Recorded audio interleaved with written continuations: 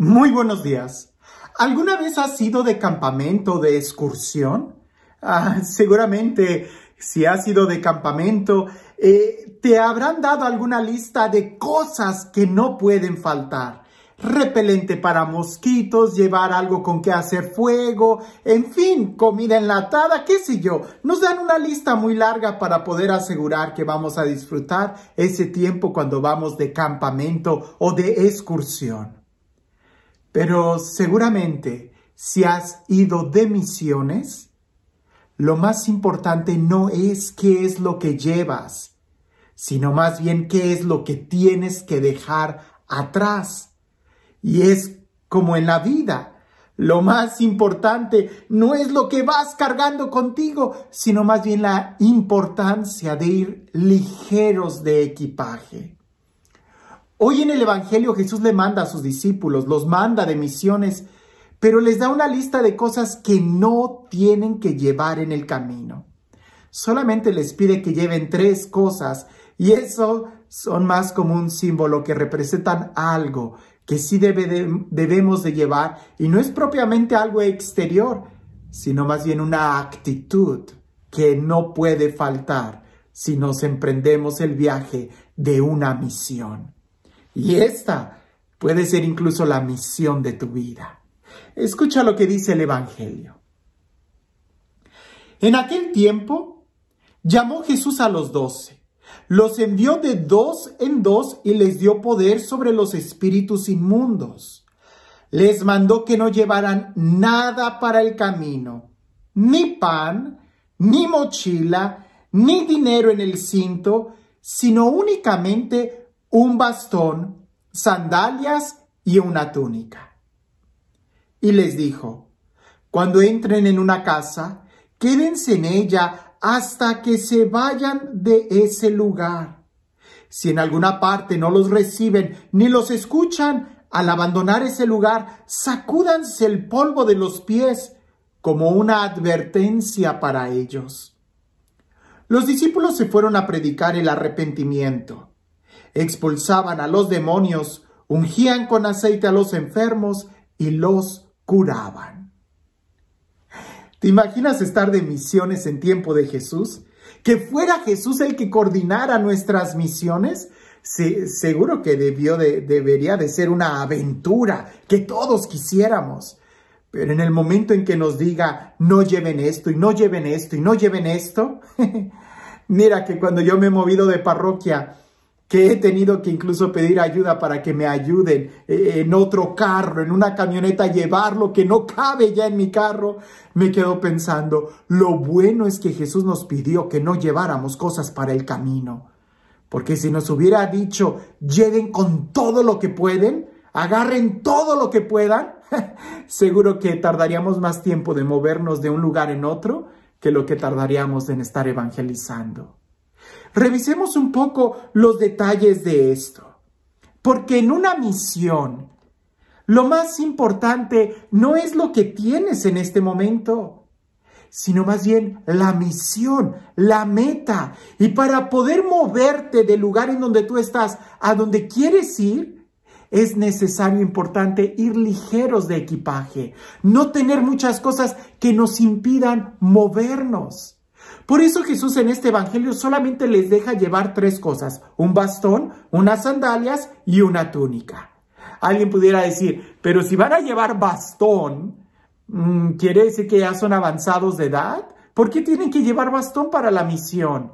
No, el bastón es un punto de apoyo y el bastón más bien simboliza el tener muy claro quién es nuestro apoyo, en quién nos vamos a apoyar e indudablemente en el único en quien nos debemos de apoyar y debemos de llevar esa actitud de que confiamos plenamente es en Dios, quien nunca falla y quien nos acompaña. La segunda actitud o la segunda cosa que podemos llevar es un par de sandalias, porque las sandalias simbolizan el camino, el sendero, el tener muy claro cuál es el camino que vamos a tomar. Tú si estás revisando cuál es la dirección que tus pasos llevan. Tú sí sabes con qué celo es con el que tú te estás moviendo en tu diario vivir. porque indudablemente ya San Pablo lo dirá, ¿verdad? Calcémonos los pies con el celo por proclamar el Evangelio, simboliza la actitud de saber muy bien a dónde vamos. Y el tercer punto es la túnica, porque la túnica simboliza la dignidad de la persona. Recuerda que en la túnica, en la Sagrada Escritura, eh, simboliza qué clase de persona es la que está hablando. El ciego tenía una túnica. El, el, aquel, el hijo pródigo, cuando regresa, su padre le cambia la túnica por una nueva. La gente quería tocar incluso la orla de la túnica de Jesús porque simbolizaba tocar su personalidad. Jesús quiere que desde antes que iniciemos la misión sepamos muy bien cuál es nuestra dignidad. Porque durante el camino, si no llevas muy claro el punto de apoyo y no sabes en quién te estás apoyando, durante el camino van a venir dudas.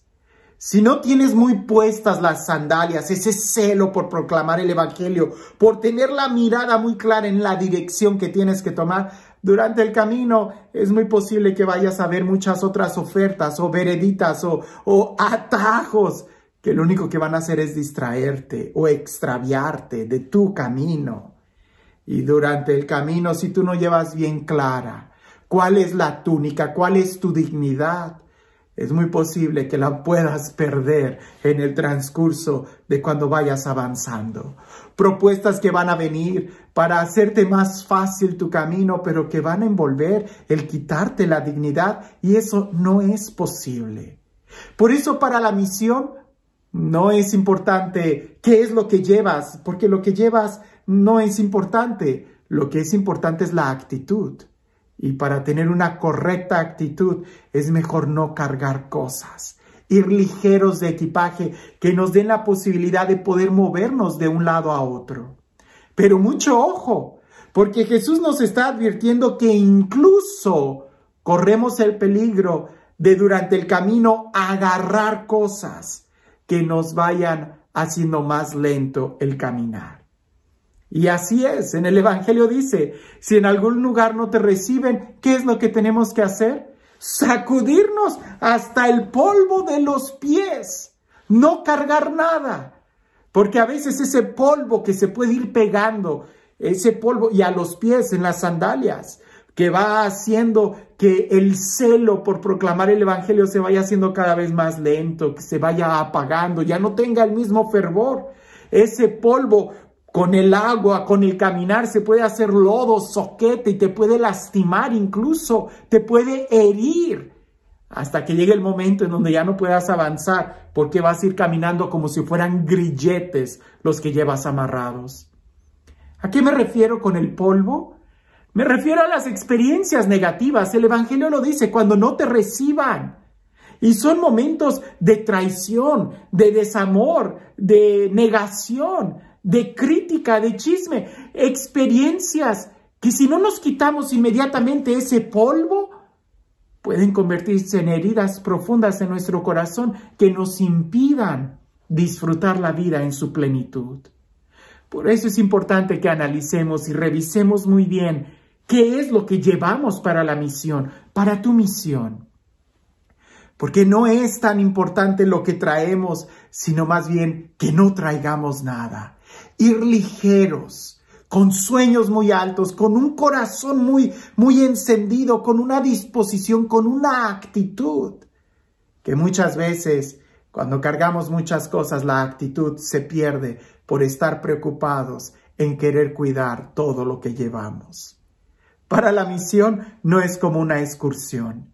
En una excursión o en un día de campamento tienes que revisar que lleves todo.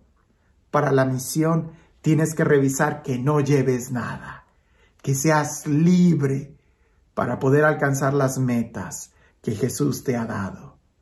En una en un campamento tú sabes cuál es la meta, tú sabes en dónde vas a poner la casa de campaña, pero cuando vamos de misiones, nosotros vamos simplemente confiados en que Dios es el que va por delante.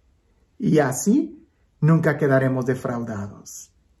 Así que en nuestra vida, que indudablemente también tenemos una misión, sería bueno preguntarnos, ¿Estoy avanzando en la misión que Dios me ha dado? ¿O no será que ya me quedé estancado y ya no estoy avanzando porque tengo tanto soquete en, en los pies, tengo tanto lodo, tengo tantas heridas en el corazón que ya no me dejan avanzar? Así que quítate todos esos malos recuerdos, quítate todas esas malas experiencias, quita de ti todo aquello que te impide y sé ligero de equipaje para poder seguir avanzando.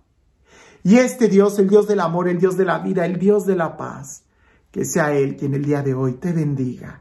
En el nombre del Padre, del Hijo y del Espíritu Santo. Cuentan por ahí que había un misionero que había llegado a un lugar y estaba predicando todo el día, en la mañana y en la tarde, que la gente dejara el pecado, que la gente perdonara, que la gente aprendiera a amar. Pero la gente de ahí era testaruda y pecadores de hueso colorado. Hasta que un día alguien se acercó al misionero y le dijo, oiga, si usted ya se dio cuenta que la gente aquí no cambia, ¿por qué sigue predicando? Y aquel misionero le contesta, porque si no predico, corro el riesgo de ser yo el que cambie y me haga como ellos. ¿Y tú sigues predicando? ¿Sigues luchando por cuál es tu misión? ¿Sigues adelante en qué es lo que Dios ha puesto en tu corazón? Que tengas un excelente día.